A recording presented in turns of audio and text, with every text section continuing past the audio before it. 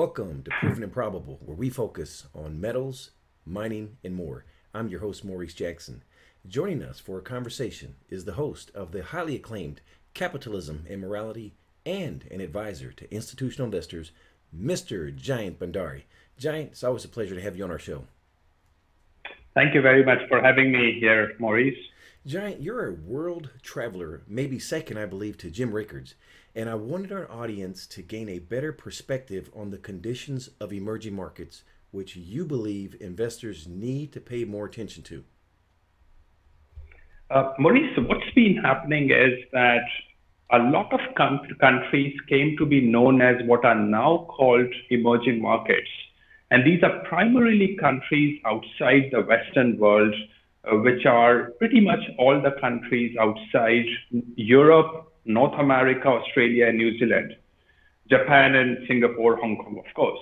Now, these emerging markets grew up at a very nice economic rate over the last 30 years. And it has come to be believed that there is something very special about these countries. And these are the countries that are the prime mover of the world's economy. Now, the reality, Maurice, is that if you look closely at what's been driving the economic growth of these countries, you realize that virtually all of the economic growth happened because of one reason, and that was internet. Internet allowed rapid import of Western technology from the West to these emerging markets.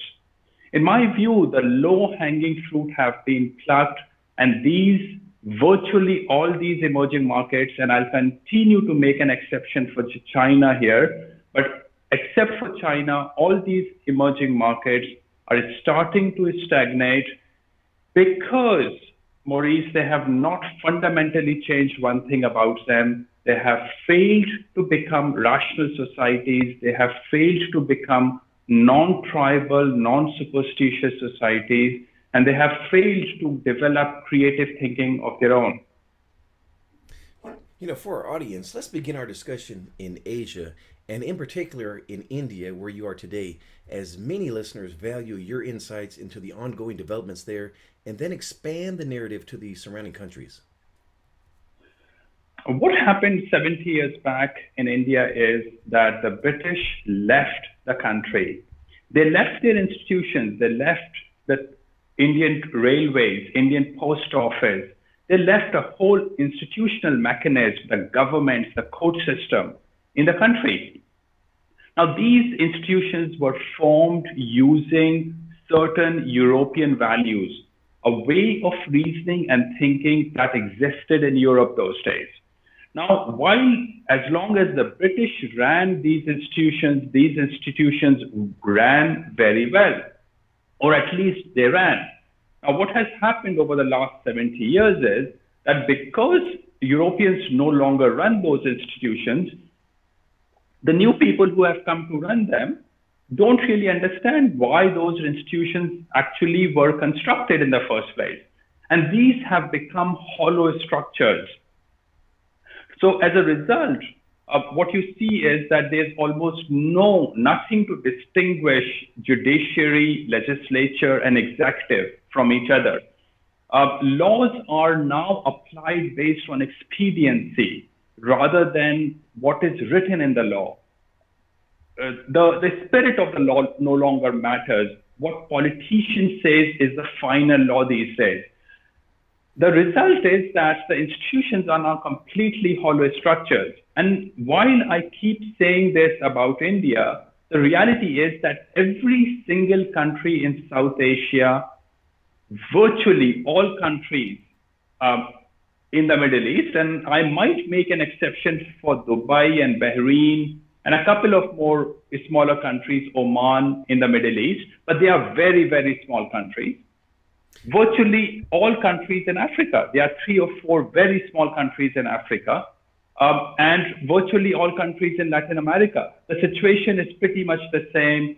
These emerging markets are economically starting to stagnate, and their institutions do not work the way they were supposed to be because these are fundamentally tribal, super, superstitious, and irrational societies and these countries are sort of imploding and reverting back to their tribal past.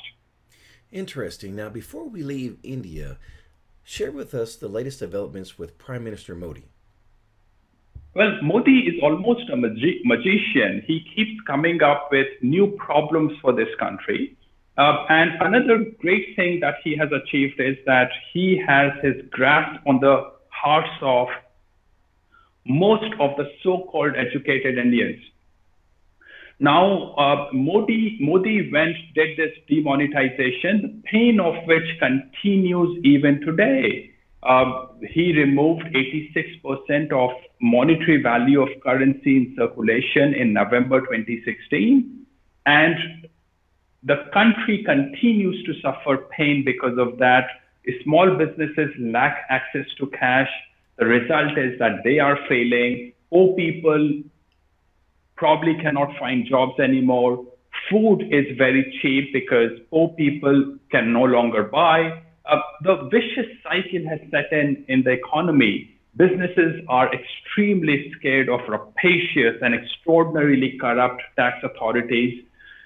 The end result is that economically, India is stagnating for reasons other than what I have mentioned so far. But also, um, one of the prime reasons why Modi wanted to go for demonetization was to improve the ish problems in Kashmir.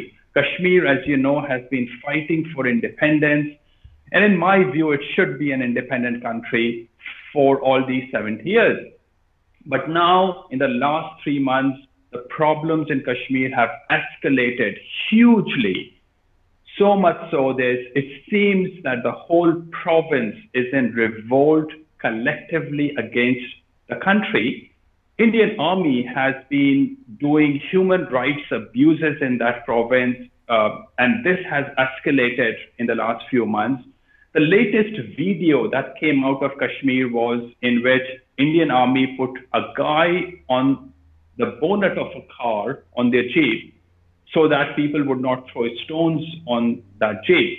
The reality, Maurice, is that this is uh, not considered the right way to fight a war, certainly not a right way to treat your citizens. And this is the worst thing in my view. Indian Attorney General, who is supposed to be one of the key guardians of the Constitution and the law, responded that there was absolutely nothing wrong with what the army did these kind of things do happen. The reality, Maurice, is that this proves and this shows what I was saying earlier.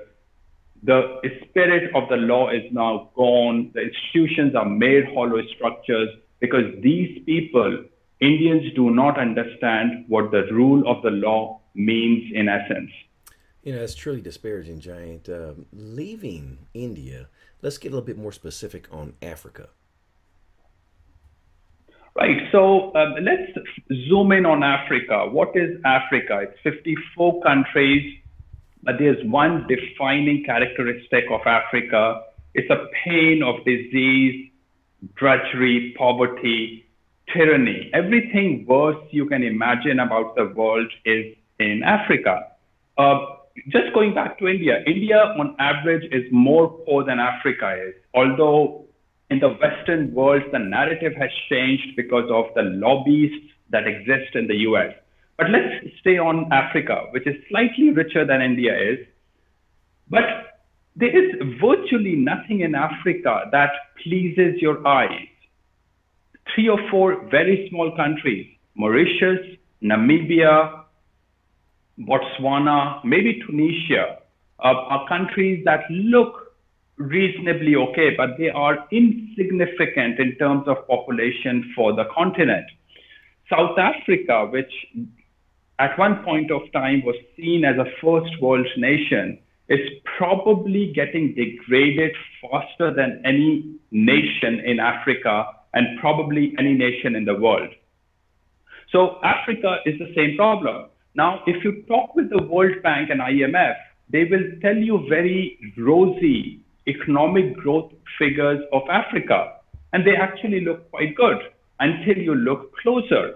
And the reality is, Maurice, that Africans as a continent has not understood the concept of savings. Africans earn their money and they drink it away the same evening. That is pretty much the culture of Africa. Now, um, the, what is happening is that economic growth has picked up, but most of this economic growth can be attributed to increased consumption. So they are they have increased their private and public debts and they have increased their consumption. What is sustainable about it? They have to improve their capital and their competencies. And they certainly have to uh, be prudent enough to allocate towards saving. Um, let's go to the Americas. Are there any differences between the Central and South Americas? Uh, indeed. Uh, I think the more north you go from Argentina and uh, Chile, things deteriorate in Latin America. Um, Central America is very lawless, and I know a lot of people uh, advertise Panama and Costa Rica as the places to be. And these are places of immense natural beauty, Maurice. You'll love these places. The reality, however, is that they are also extremely crime prone. An American friend of mine whose family moved to Panama because they were just not happy with the welfare warfare economy of the US and the continual deterioration in the US left for Panama about 10 years back. Last year, they moved back to America because things in Central America are not good. It's a very crime prone area. It's very poor and back, backward part of the world. Oh, well, I tell you, it uh, it's truly is frustrating to hear this because again, the perception is is that the emerging markets are going to take the lead here. Uh, are you concerned that the mainstream media is not discussing these developments? Uh, uh, no, they are not, Maurice, and I'm not necessarily saying they aren't doing it because they want to tell a lie. Uh, the reality is that people who live in the Western world simply fail to have the eyes to understand the realities of these emerging markets. And in a way, it is very true that the Western world is getting deteriorated, and it is very rapidly. But the reality is that the problems of the emerging markets are starting to surface very rapidly, in my view, except that the world is failing to recognize it for two reasons. Because they don't, Western people fail to understand that these emerging markets are basically tribal, superstitious, and irrational. And these concepts have failed to get any traction in these countries despite the so-called education. Education cannot transmit, transmit the concept of rationality and critical thinking to these people. And as a result, uh, these people are not becoming rational and the Western people are completely failing to understand that this is not happening in, in the emerging markets. And in my view, the problems of emerging markets will start to suffer sooner rather than later. So, Jayant, just to summarize here, based on your assessments, is it fair to state that the economies worldwide, in, in particular the emerging markets, will continue to amass debt and stagnate? Uh, absolutely. Uh, I see no hope for most of the emerging markets, except again for China uh, and the Chinese related countries, Singapore, Hong Kong, Korea, and Japan. But most of these emerging markets will stagnate. Most of these countries will implode. Venezuela is already known to be imploding. Brazil, I think, will implode. India will implode. But virtually all these countries will implode. South Africa will implode. These are the headline countries. Uh, in, the, in my view, Western world will continue to deteriorate, but will do better, much better than emerging markets. So for me, the place to think about in terms of living is still the Western world. All right. Jayant, you shared the problem. Let's provide listeners with the solutions. Now, based on the circumstances, should investors stay away, and this is generally speaking, from capital markets in these countries and instead deploy capital towards precious metals? Uh, not necessarily. Uh, I would deploy my money in China, Hong Kong, Singapore, Japan, Korea. Uh, Australia, New Zealand can be very good places to invest your money in. Uh, and even in emerging markets, uh, you can f- always find individual companies. However, as stock markets or as general places to invest in, I stay away from emerging markets except for China. Now, gold is, uh, Maurice, a very important part of anyone anyone's portfolio. And gold becomes important when economic stagnation takes place, which I think is the future of the emerging markets and the future of most of the Western world. But also, even more important that, than that is the political instability that is becoming the routine today. North Korea is becoming a problem. Middle East is on fire right now. Uh, there will be huge chaos in Syria and many other countries in the Middle East, the end result will be that political instability, if it happens even on top of economic growth, will mean that people will be interested in buying gold. And gold will become a place to preserve your wealth. Now, with regards to physical metals, you've touched on gold. How about silver, platinum, and palladium? Uh, it's the same. It's pretty much the same story with the other three metals uh, as well, Maurice. I don't follow, keep a very close eye on these two particular metals, platinum and palladium, because the story of these two metals is extremely complex. The price that you buy these metals for is less than the cost of making these two metals, which is a very strange situation. But the reality is that the market can stay, what Keynes said, market can stay irrational longer than you can stay solvent. So despite that these commodities sell for lower than what they are, what it costs them to produce, uh, I don't know whether I would be able to exploit it. I don't really understand the dynamics of uh, behind what pro- keeps these commodities produced at the uh, such a high cost and be sold at a low price. Uh, I so I'm less sure about these two commodities. Also, there's a huge influence of industrial um, consumption of these two commodities. So, given that, I prefer to focus on mostly gold and silver. All right. Now, where do mining companies fit into this discussion? Now, mining companies are completely, totally different beasts than uh, commodities are. Uh, a lot of people mix the two things and they usually make a loss. Actually, they always make a loss. When you are interested in a commodity, invest in that commodity. If you invest in a company, do a valuation of those companies based on the spot price of the commodities. Now, if you want some extra icing on the cake, yes, you might want to look at valuations of gold companies if you think gold will do better, but do not build in higher price of gold in your valuation. You will almost always lose. And the reason is that when the gold price goes up, the cost of making gold usually goes up as much or even faster sometimes. So any leverage that you think exists in gold mining companies is a myth and usually the, the leverage gets compressed when the gold price goes up. And that has been the history over the last 20 years. You know, thank you for your words of wisdom there. Jayant, for the first time listeners, should they first procure precious metals or the mining stocks? Absolutely. Uh, the, again, these are two different things. If they want to invest for value, uh, uh, if they want to invest for commodities, they should just invest in commodities. Investing in mining is a long, tough job because you have to learn valuation of these companies. A lot of people um, take knee jerk decisions on investing in these mining companies, mostly based on some gambling uh, kind of instincts that they have. They then want to rationalize their decisions and they want to latch onto certain companies because now suddenly for them, ounces in the ground of these companies is very cheap.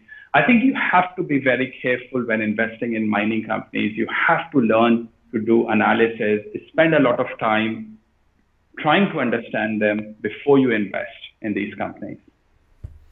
And switching gears to capitalism and morality. Jayant, each year you host the highly acclaimed Capitalism and Morality featuring an all star cast of guests. Who will be speaking this year? We have the next Capitalism Morality on the 29th of July uh, in the downtown campus of Simon Fraser University in Vancouver, Canada.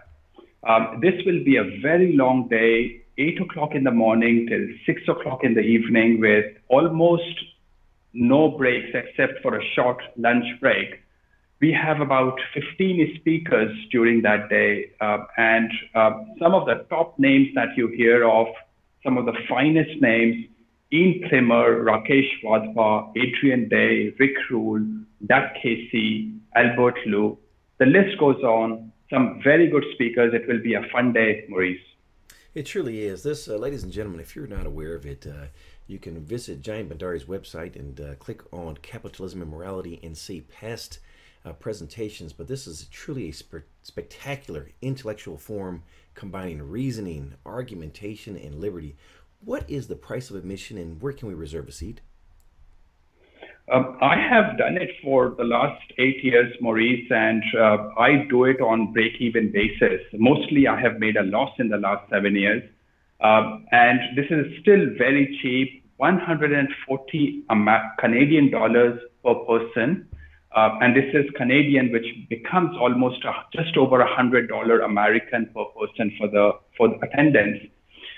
Uh, and um, as I was discussing with you before we started recording, um, I will be very happy to offer a 20% discount to your audience, and they can use coupon code Jackson, which is your last name, and get a 20% off this 140 Canadian dollar price.